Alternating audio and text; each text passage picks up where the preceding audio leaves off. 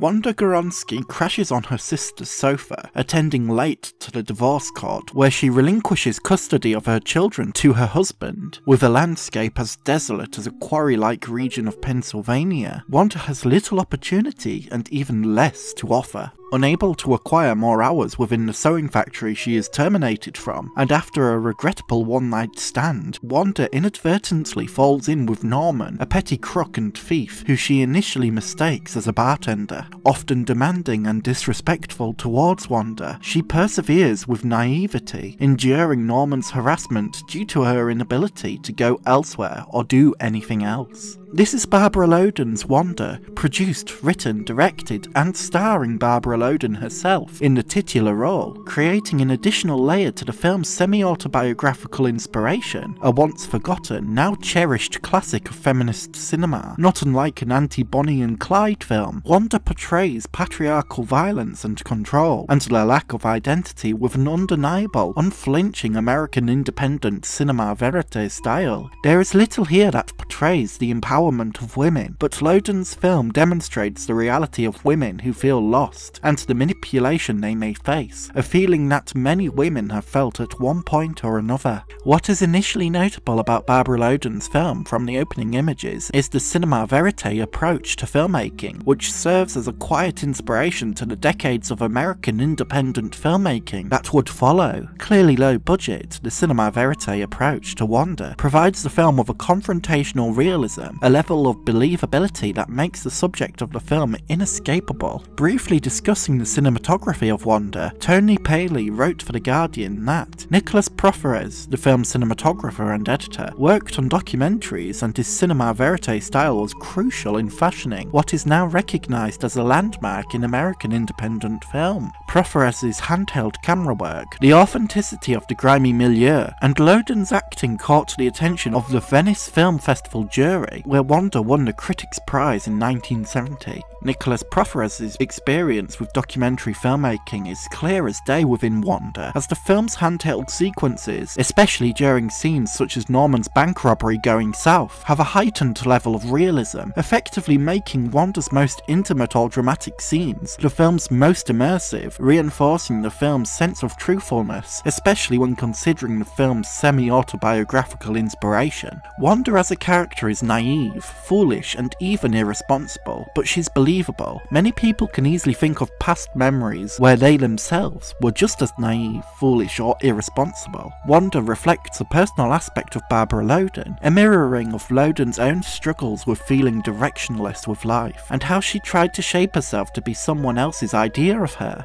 Referencing Barbara Loden's own words, Tony Paley's article elaborates on the autobiographical nature of Wanda, stating that her extraordinary performance as the acquiescent and emotionally blank Wanda is part of what makes the film so memorable. I used to be a lot like that, she admitted in an interview at the time of the movie's release. I had no identity of my own, I just became whatever I thought people wanted me to become a relatable subject matter for many young adults unsure of their futures, uncertain of what they are capable of contributing, and a theme that is prominent in many classic coming of age films. Barbara Loden's own struggle to understand her identity and the pressures to become the figure that others expected her to be is mirrored effectively in Wanda's own lack of direction after marriage and losing her job. Two aspects of living many people place great emphasis on, as well as her frequent dependency on men like Norman who continue to belittle chastise, harass, and abuse her. Wanda is a dependent woman, and in her naivety, she is the subject of exploitation and manipulation for Norman's crooked schemes, as well as the cheap sexual gratification for other men. In depicting Wanda as a vulnerable nobody, Barbara Loden examines women's struggle for identity, the difficulty in leaving a mark on the world, and the ease in which patriarchal influence can manipulate for its own needs. Patriarchal influence is very prominent in Loden's film, especially especially during scenes between Wanda and the crook, Norman. As Norman lays low in a rundown motel room, he demands Wanda to go out and buy him cheeseburgers, smacking her around the face when she speaks too loudly and barking at her to remove the toppings from the burgers. Norman gives Wanda some cash to buy clothes, only to distract her while he tries breaking into cars in the parking lot, later chastising her for not buying the clothing he wants to see her in, throwing anything out of the car window that isn't a dress, any action Wanda may perform out of generosity, or any action Wanda may carry out that suits what she would like, is treated with stern rejection. Any of Wanda's wants, needs, and personality is therefore trampled in favour of Norman's aggression and paranoia.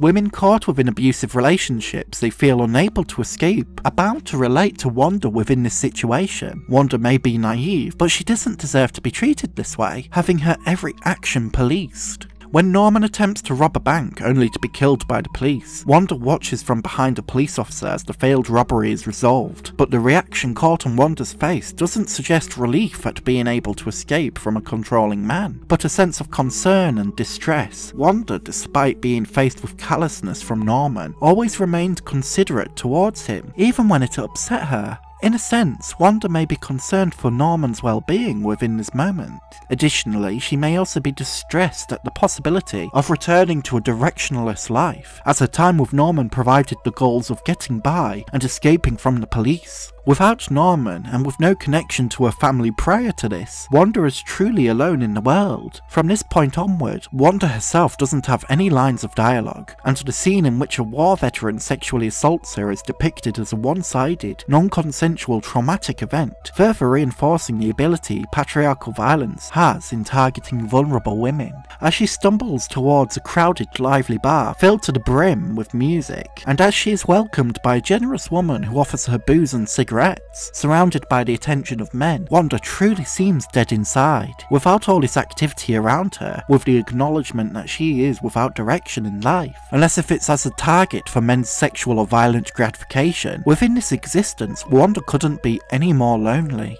In conclusion, Barbara Loden's Wanda is an undeniably feminist call for compassion towards the downtrodden and belittled women uncertain of their futures, presented with a realistic direction that relates to Barbara Loden's own personal feelings regarding her lack of identity. Nonetheless, despite the personal concerns regarding identity, Wanda is filled to the brim with it, sharing a sense of realism reminiscent of classic documentary filmmaking, and with a strong sense of empathy towards a flawed protagonist. Wanda is the small American American independent classic that was almost completely lost. Tony Paley briefly discusses the unlikely chance of rediscovering Wanda with Ross Lipman, who assisted in restoring the film, later in his article stating that Ross Lipman, who worked on Wanda's restoration for UCLA, says the response to the film's rediscovery has been overwhelming. He described how he found reels marked Wanda in 2007 in an abandoned film and video laboratory in Hollywood, where everything had been earmarked for the dump.